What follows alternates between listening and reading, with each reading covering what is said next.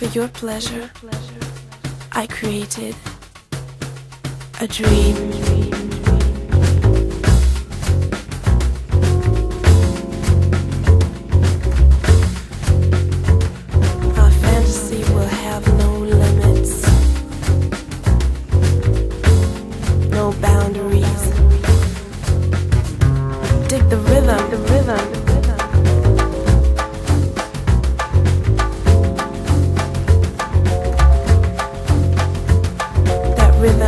Like an eruption that goes through your body. It's like a sensation